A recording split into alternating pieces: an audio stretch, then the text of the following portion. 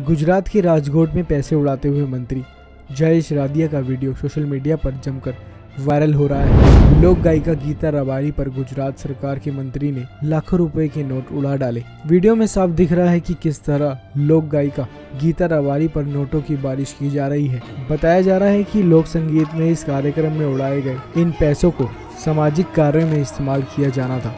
लेकिन रुपयों का इस्तेमाल कहीं और हो गया। तो अब वीडियो में देख सकते हैं कि गुजरात के मंत्री रादिया और उनके साथ कुछ और साथी भी लाखों रुपए के नोट उड़ाते नज़र आ रहे हैं। देखिए रबाड़ी नोटों के बीच में कैसे बैठी हुई नज़र आ रही है और गुजरात का पैसा उड़ाने का ये वीडियो सोशल मीडिया पर लगातार वायरल हो रहा है। एक बार फिर देखिए कि कैसे मंत्री जी ने गीता रबाड़ी पर लाखों रुपयों की बारिश कर